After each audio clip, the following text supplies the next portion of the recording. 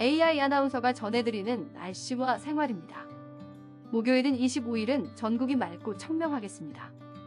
낮 동안 성큼 다가온 초여름 더위는 계속 이어지겠고요. 지역 곳곳에 늦은 오후부터 차차 흐려질 것으로 전망됩니다. 전국 미세먼지 농도는 보통 수준을 보이겠고요. 황사 걱정 없이 대기질 깨끗하겠습니다. 자세한 우리 지역 날씨입니다. 수도권은 대체로 맑다가 늦은 오후부터 차차 구름 많아지겠습니다. 낮으로 갈수록 다소 더운 날씨를 보일 텐데요.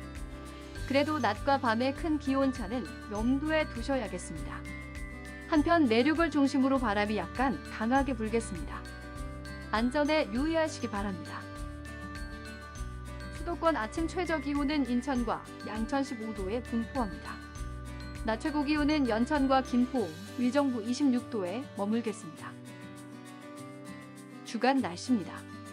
5월 26일 금요일은 수도권과 강원, 28일 일요일 오후에 중부지방과 전북 5월 29일 월요일은 전국에 비 소식이 있겠습니다. 주말과 휴일에 전국이 대체로 흐릴 텐데요.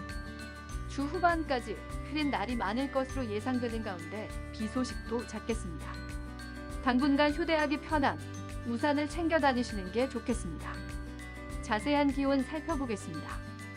5월 26일 금요일부터 5월 30일 화요일까지 아침 기온이 13도에서 21도에 분포하겠고요.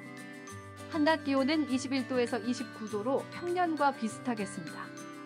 우리나라 주변 기압계의 변화에 따라 강수 시점과 구역이 변경될 가능성이 있으니 앞으로 발표되는 최신 예보를 참고하시기 바랍니다. 바다 날씨입니다.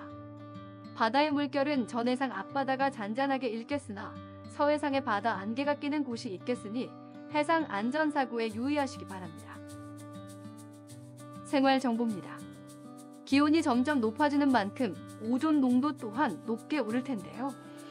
야외 활동 시 오존 생성이 활발한 차도에서 최대한 떨어져서 이동하시는 게 좋겠습니다.